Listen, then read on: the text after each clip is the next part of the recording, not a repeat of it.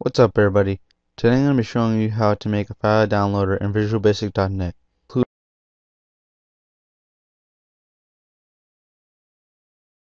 This is what it should look like. You should have two text boxes, two buttons, progress bar, and two labels.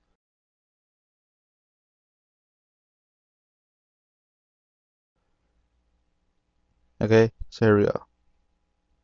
Okay.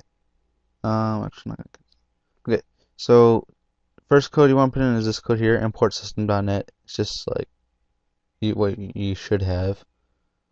For cmd.save, that's just what I named the button.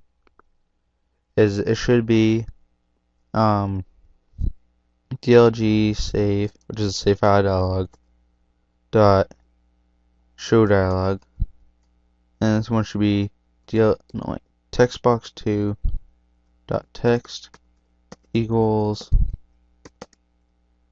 um, dlg save, which again is this save file dialog dot file name. Next, what you want to do is you want to type in public with events at no wait, download as web client. Next, what you want to put in is you want to say message box dot show and put the little quotations in parentheses. Say download completed. Then you want to say progress bar one dot value equals zero text box one dot text equals zero no wait just this. Text box one text box two dot text is the same thing.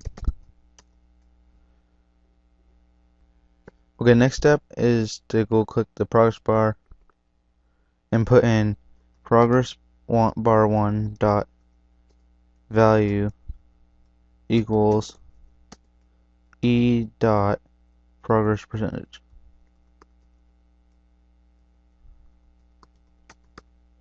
Okay, and as for the download button, you have to put in this code. Um, it's going to be down, no, um, download equals new web client, and put this code in, and then it's going to be um, progress bar 1 dot value equals 0 and then progress bar dot maximum equals 100 so once you're done with that all you really have to do is um well for one fix this. Because that's an error. Pro e dot. Oh that's why. Okay. So you want to keep this here but you want to come up here and you want to say progress changed. Wait. Download progress changed. Okay. So if it's not listed there then you want to change this underscore to down oh wrong one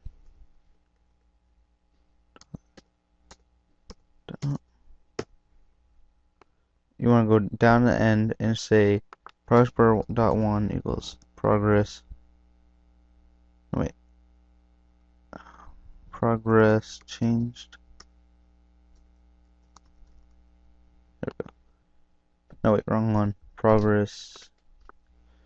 Wait oh yeah that's what it was.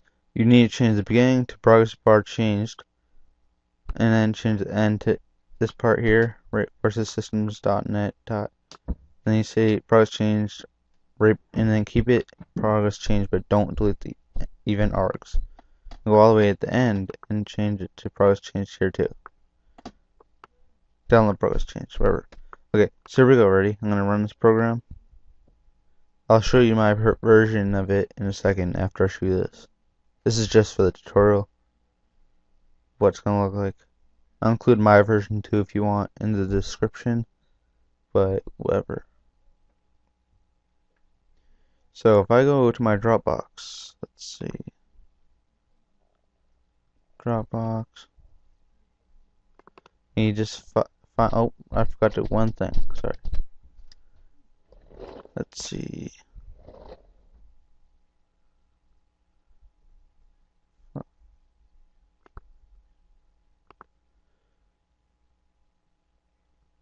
Okay, it's not running, but that's good. So I forgot to tell you one thing. On the open file dialog, you want to change this to, um, oh yeah, you don't even need the open file dialog. What am I thinking? Nope. Actually, you do need it. Forgot. Download. It should say open file.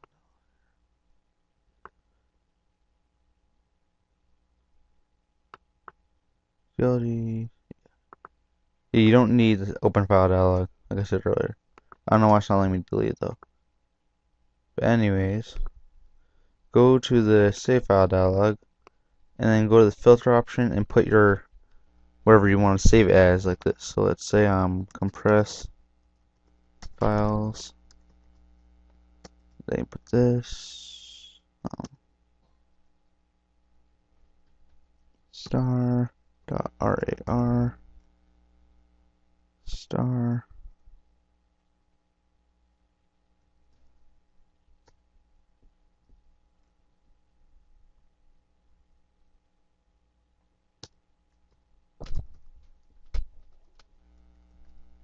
Oh, I typed wrong. Wait a second.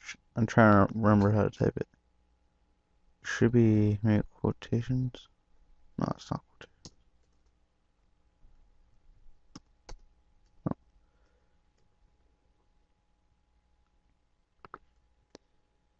I might need an ending one.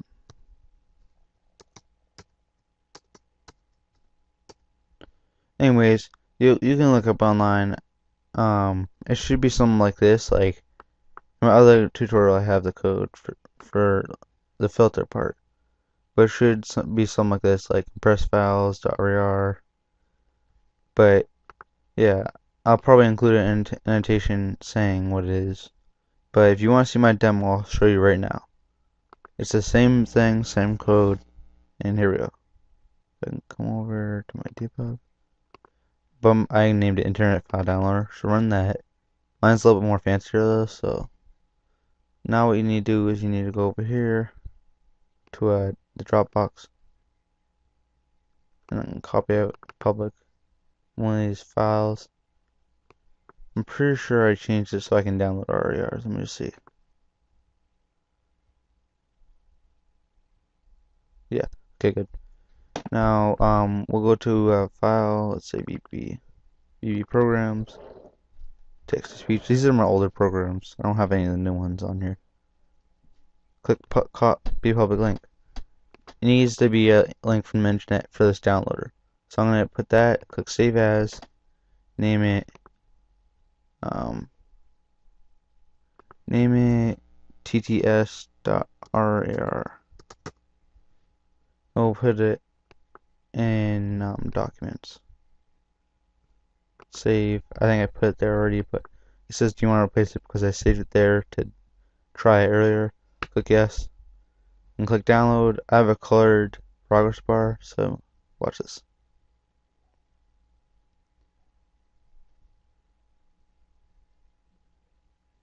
Nope. Allow. Stupid virus protection. Okay, there it pops up saying download completed, and I have a red progress bar. And if we go to my documents, and we say T T T, what is it? There it is, TTS, the one we just saved. So thank you for watching this little tutorial on how to make a file downloader. I'll include this little demo in the description, and have a nice day. Thank you. Bye.